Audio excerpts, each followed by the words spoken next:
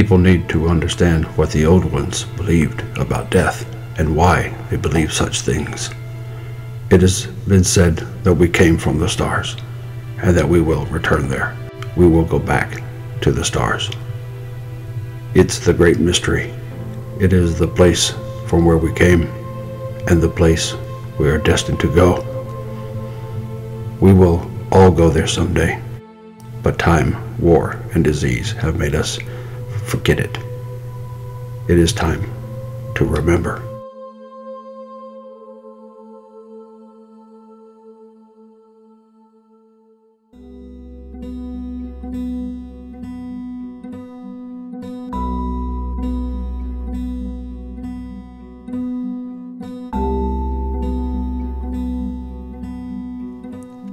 These are the most visible remnants of America's ancient mound builders. They made hundreds of thousands of mounds. Some of them were pyramid shaped, and others were massive conical heaps.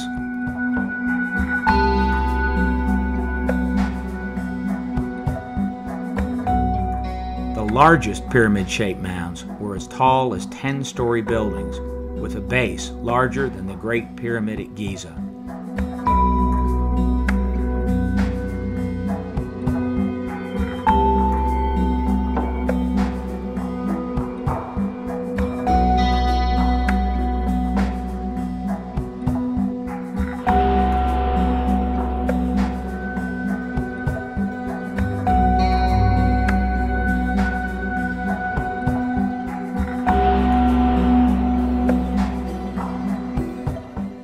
Mound builders also constructed thousands of earthen effigy mounds depicting various animals, and they made thousands of complex geometric earthworks that defy simple descriptions.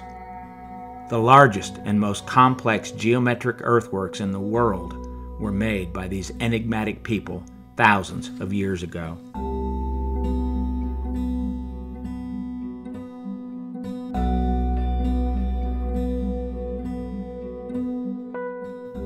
The first mounds in America were constructed nearly 6,000 years ago.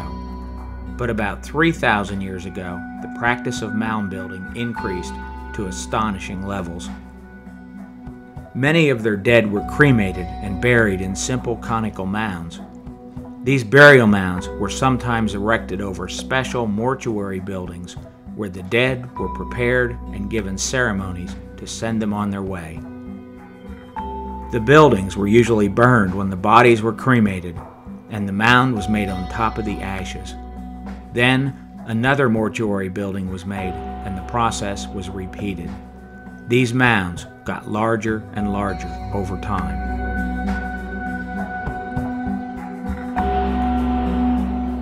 Some of the dead, especially those of the elite ruling classes and the priests and the shaman, were placed in elaborate stone tombs with huge mounds erected over them. They put the most important people in the stone tombs and sometimes arranged the remains of those who served them in circular patterns like wheel spokes.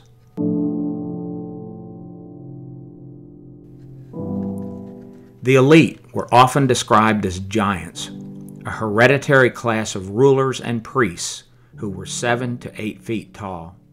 Over 30 of them have been found in mounds constructed several thousand years ago. Their origin is a mystery, but it's close to being solved. In the 1800s and 1900s, tens of thousands of America's mounds were excavated. The skeletal remains of the dead were often displayed in museums, and millions of artifacts were found with burials. Many artifacts displayed incredible symbols that have long been a complete mystery to archaeologists. Symbols of crosses, circles, snakes, feathered serpents, raptor birds, forked eyes, and people dressed as various animals were found on artifacts. Single bones were often depicted on artifacts, along with wide eyed skulls and skulls with fire like protrusions coming from the mouth. But one of the most interesting symbols found on many burial goods is what is referred to as the eye in hand.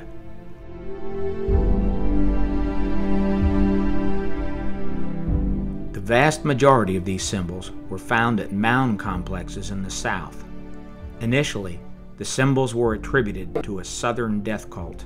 Today, it is known as the Southeastern Ceremonial Complex.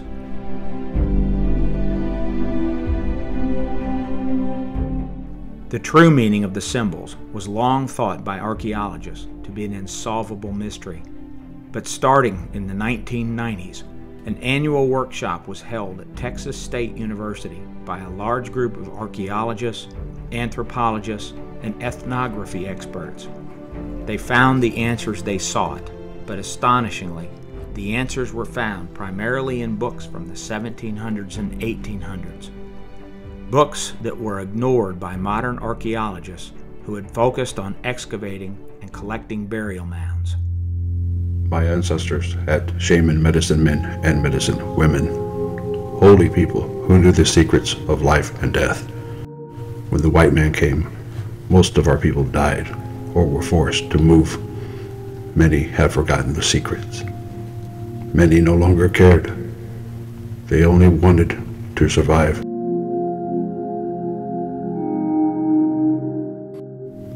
Some of the old ones told the whites the secrets.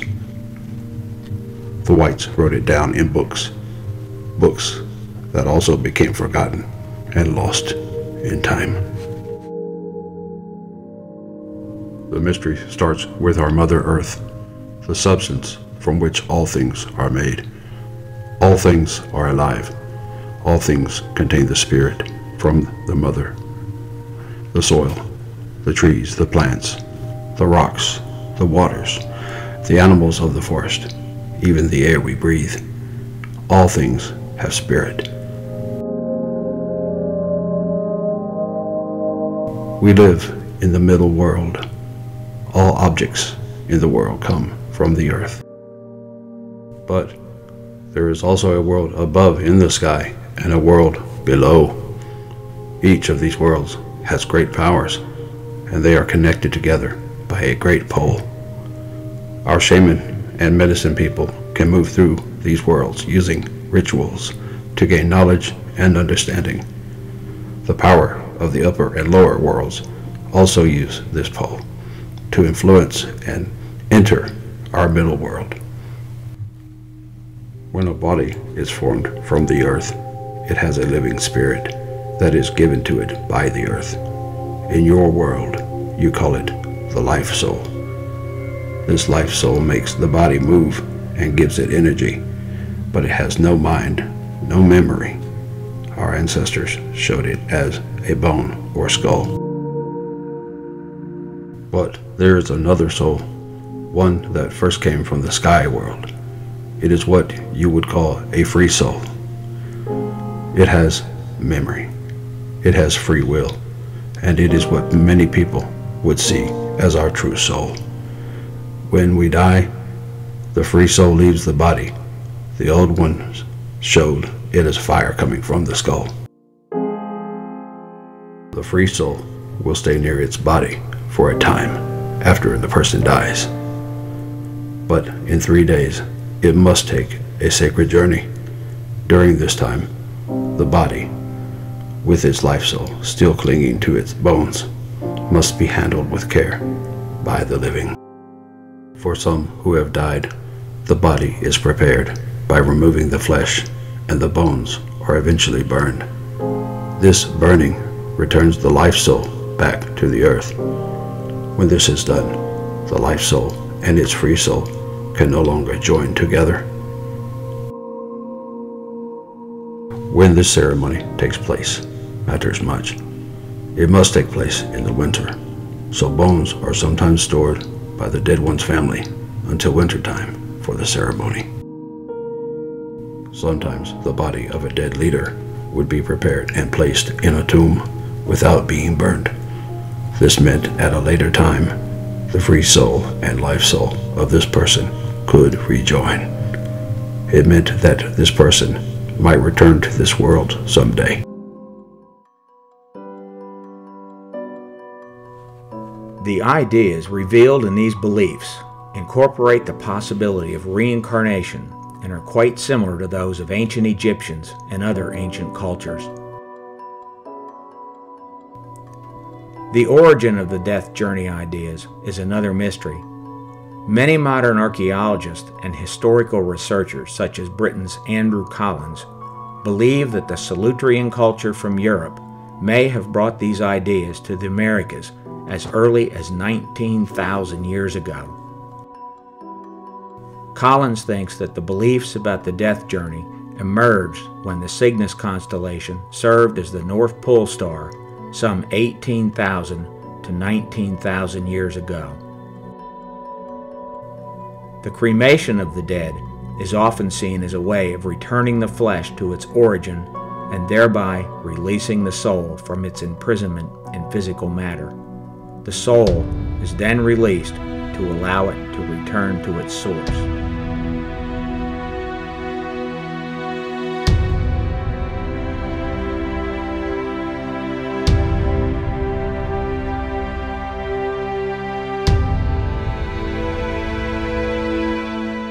When the free soul starts its journey from its body, it goes to the west, where there are trials and tasks on the journey to the west.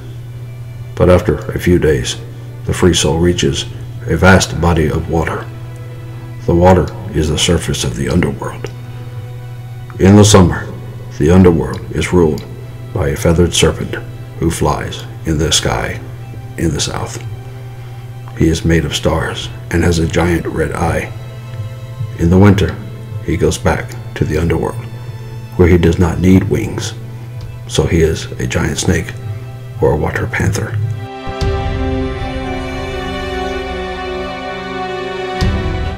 The constellation of Scorpius is now known to be the Native American depiction of the feathered serpent. The bright red star Antares served as the serpent's eye. Scorpius is visible in the nighttime southern sky in the summer, but in the winter, the constellation doesn't rise above the horizon. The mound builders believed that the free soul needed to make its journey in the winter so that the feathered serpent wasn't watching and listening. When the free soul stands at the water's edge, it waits to the early morning when a large hand is seen to fall in the western sky. The soul must jump into the sky, or it will roam in the westlands forever as a ghost. When the hand is about to fall, the soul makes a leap into a special spot in the palm of the hand. Many people say it is an eye, but it is an ogee, a slit in the sky that leads to the path of souls. Some call this opening the hand star. There are several legends about the hand in the sky and the ogee in its palm.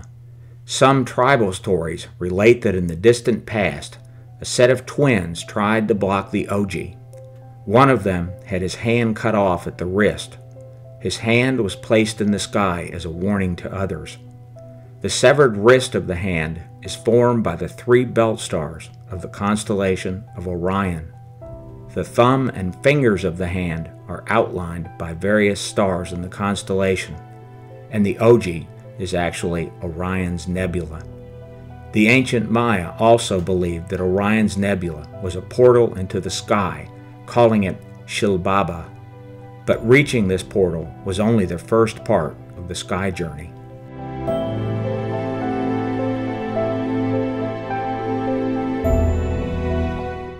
Some tribes saw the Hand star and the Ogee as a spider woman.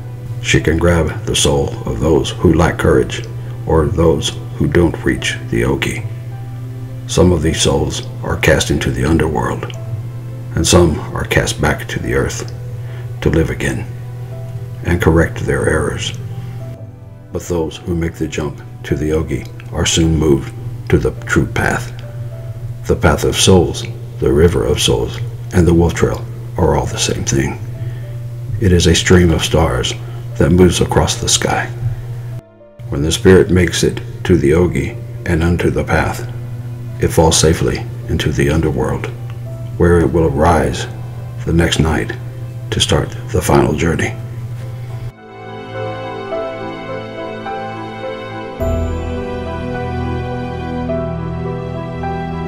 When the Hand constellation falls below the horizon in the early morning hours, the Milky Way is seen as a horizontal band across the sky. In the winter months, it descends like a wall, falling below the horizon just as the sun rises. The Milky Way is the path of souls, and it is believed that the stars of the Milky Way are souls making the journey. The soul has many adventures and trials on the path. These adventures test the strength and goodness of the soul. If the soul stumbles and falls, it can fall back to the earth or fall into the underworld to be lost for all time. But if the soul passes these tests, it reaches a split in the road, a place where it must decide to go one way or the other. One path is a dead end where the soul is trapped. The other path leads on. It is here where the path splits, the soul has its final test. A large creature stands. Most of us believe it is a large bird, an eagle, falcon, or hawk. The bird judges the soul on its bravery and goodness. It sees how well the soul served its people and how it dealt with its enemies. Those who fail this test are blotted from existence. They are erased from the world. Their memories and thoughts are blotted out. But those who pass the test are allowed to pass through a great opening in the sky world to join with their ancestors who made the same journey long ago. In the past, this hole in the sky was in the north, where all revolved around it. Now it is in the top of the sky dome. The spot on the path of souls where there are two different ways to go is located at the dark rift of the Milky Way. It was at this spot where the soul had to choose a direction and also where the soul encountered a creature serving as a judge.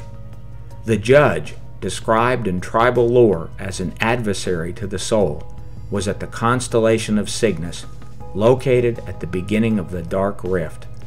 The actual portal into the sky world, the portal to the afterlife, was probably the star Deneb, the brightest star of Cygnus. Many symbols that were once interpreted as sun worship iconography are now known to represent the fork of the Milky Way at the Dark Rift, and the hole at the center representing Deneb. The fork was depicted on many artifacts and on body tattoos and face painting. Several key artifacts that were found in mounds show all the elements of the death journey. These beliefs are sacred knowledge, knowledge that has been too long forgotten. We are a conquered people, a forgotten people, a people who have been pushed from our land and made to forget our ways. There is truth in our ways, and our true destiny is revealed in the death journey. It is time to remember, time to remember where we came from and where we will go.